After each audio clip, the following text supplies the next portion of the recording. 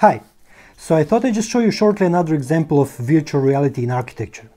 On a small example of a retail store we did. And this is a very fast process. We got the CAD model in different versions, Rhino and OBJ and 3ds. Whatever we get, basically, it can easily be adjusted for the game engine and the meshes can be optimized for VR. We usually start in the first person mode and then we can uh, switch to VR with a click of a button. Or we can switch to any other mode like third person as you have seen in other videos. Here you can see my hands. Okay, so I'm at the entrance and I can start moving around. By moving my hands I can actually measure the reach and the distances. See if my hands collide with something, joysticks can vibrate when they do.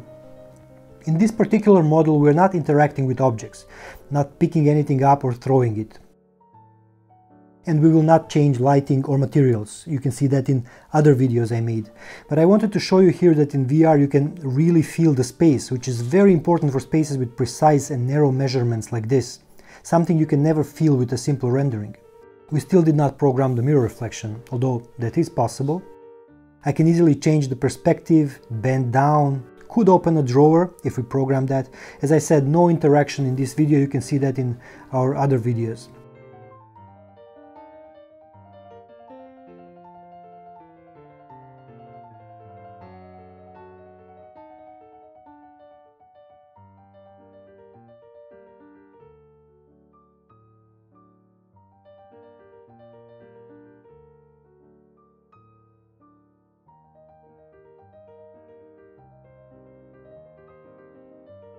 If you have counters like this, you can see if the heights are right, can, how it looks from the perspective of a salesperson.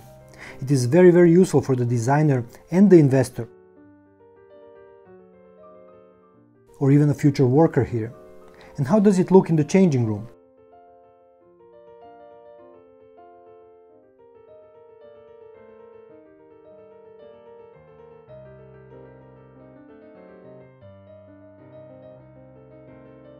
Is there enough space? You can spread your arms and see, for example, that here they're colliding with the wall at some moment. But then I can go to the other, larger cabin, and when I spread my arms, I realize that this one is pretty big. The performance is also amazing. This is rendered close to 100 frames per second on a very average $1,500 worth gaming laptop. So as you can see, the performance is not really an issue anymore we will try to push the photorealism even more to see how much we can achieve with a normal laptop. But keep in mind that if we did a first-person version of this for a desktop with a mean graphic card, this could look 100% photorealistic.